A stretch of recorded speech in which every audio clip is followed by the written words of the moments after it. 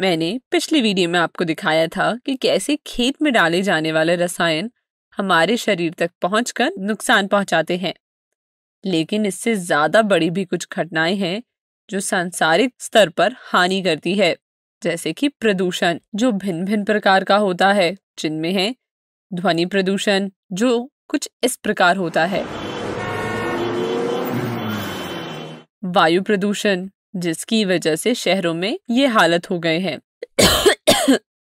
हम सब खांसते रहते हैं। दिल्ली का हाल और पूरे उत्तर भारत का हाल तो आपको पता ही है। एयर पॉल्यूशन की वजह से कितना स्मॉग हो गया है। जल प्रदूषण इत्यादि। पर ये सभी प्रकार के प्रदूषण आगे जाकर और बहुत बड़े हानिकारक प्रभाव करते हैं। और अपने आने वाली वीडियो में मैं इन्हीं हानिकारक प्रभावों की विस्तार से चर्चा करूँगी। तो इस वीडियो में जो हमने अभी तक पढ़ा, इसे अपनी कॉपी में लिख लीजिए।